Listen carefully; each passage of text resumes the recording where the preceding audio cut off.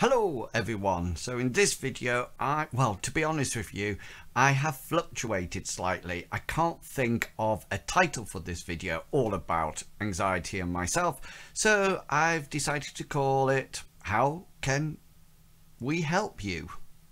My name's Inwils and welcome to the In Crowd.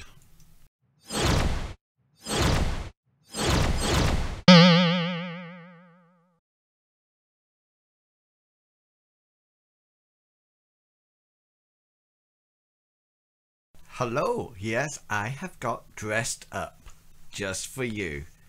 It's a tie. So if you have liked this video or any of my videos then please consider liking, commenting and subscribing to the channel and if you would like to be um, provide a monetary um, donation then please consider oh, that way please consider going across and becoming a patron all your donations go directly back to my channel so I can continue making fantastic videos just like this one. Okay, here we go. One shot wonder. That's how I try to record these videos. One shot, um, straight through, no editing after all the fancy bits that you've just seen. Okay then, so I can't decide what to call this video. Initially, it was about going out on my first um, task for after visiting the clinical psychology, but a psychologist. Hmm, but I kept changing the title about what I was writing, but uh, yes, I do write these. I actually script a lot of them.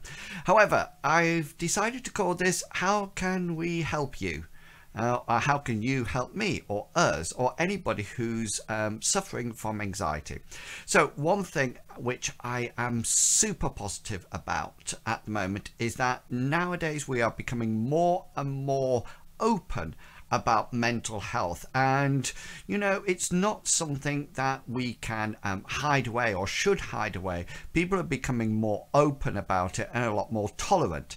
And when I was suffering and yes I was clearly suffering, there was still a great stigma connected to mental health. And I said before in one of my videos that they actually tested me for a whole lot of medical reasons until the comment by my GP was, as a last resort, let's send you to a clinical psychologist.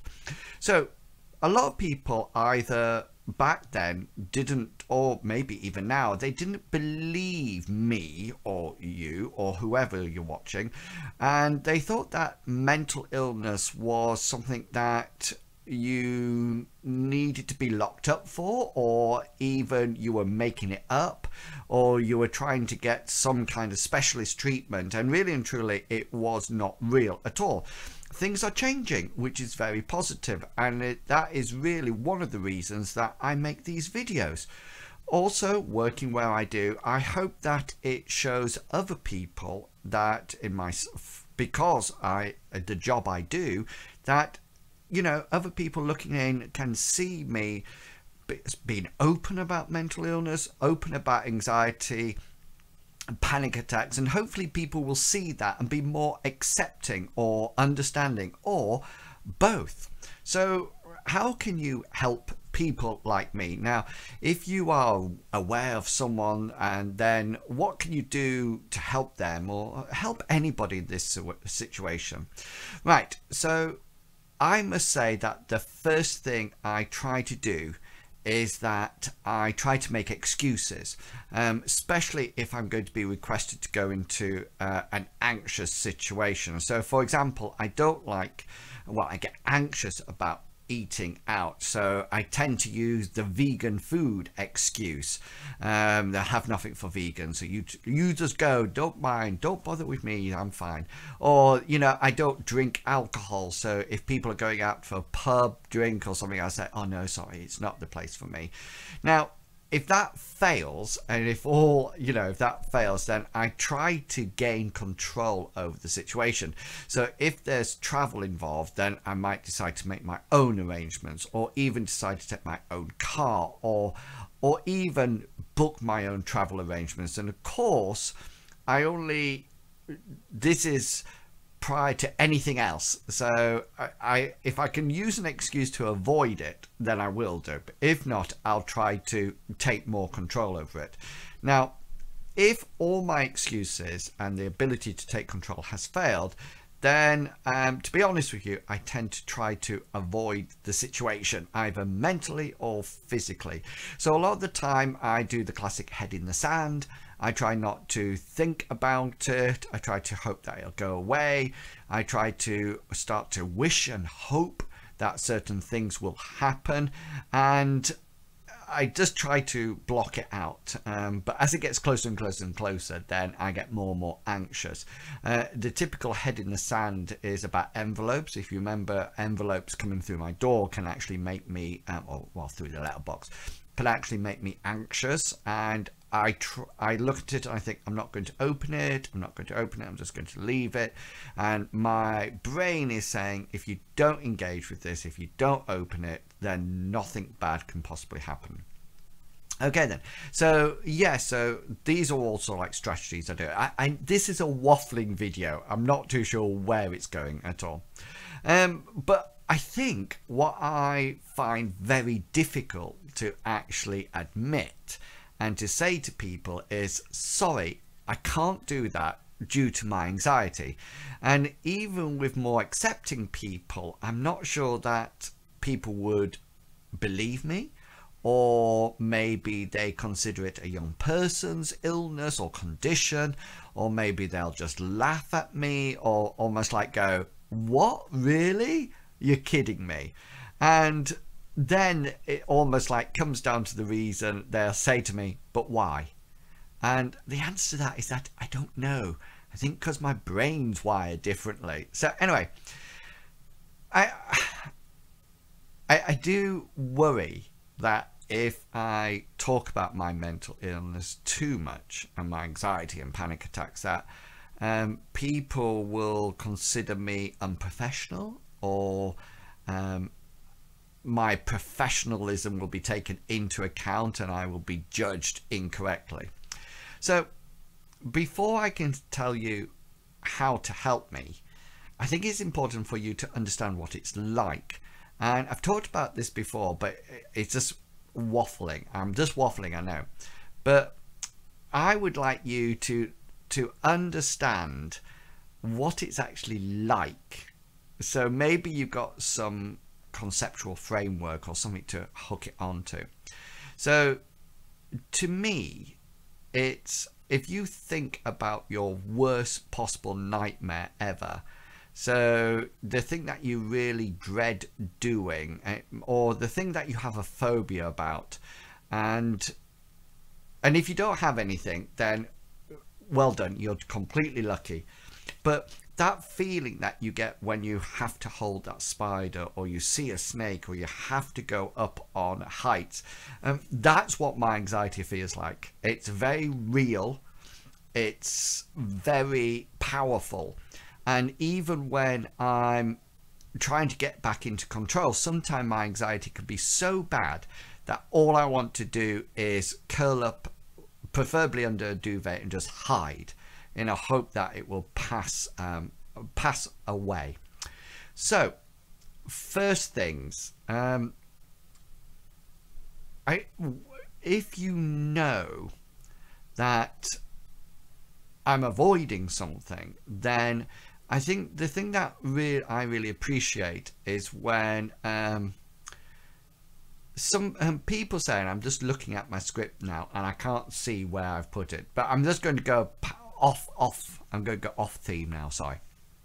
One of the things that I would um, say is it's a good idea to almost like give me an option. And some people might say no no you shouldn't have the option you should do it. But and I completely agree with that. I completely agree with that. But what I would say is that myself or the person has to be ready for it they have to be ready. There's no good just forcing it onto us.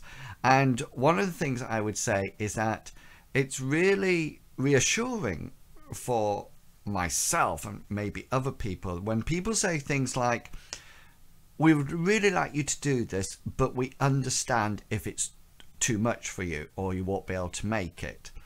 And that that's really powerful for me because basically what people are saying is that we understand, you know what it's like. We know that if you're not turning up, then it's not because you necessarily don't want to. It's because you're finding it very difficult.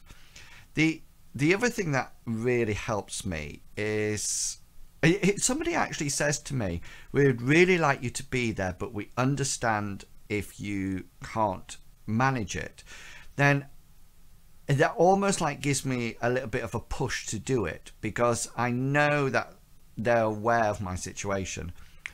The the other thing that I find really useful is when people say I sort of like say, right, I'm going to try to do it. And they say, that's brilliant. That's really good.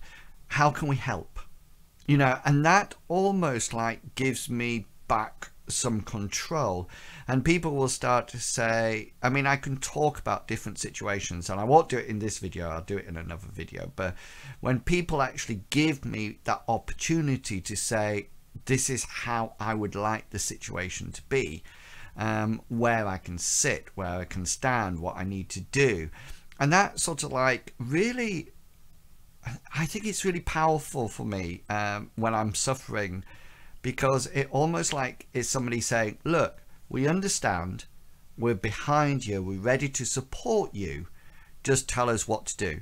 And, and I think that's that's really powerful for me. And just like I was telling talking about before about phobias, I wouldn't suddenly um, throw a spider onto somebody who had arachnophobia, but if they wanted to overcome that phobia, I would be saying, okay, then we're going through this reptile house or whatever, if you're uh, phobia about lizard, how can I help?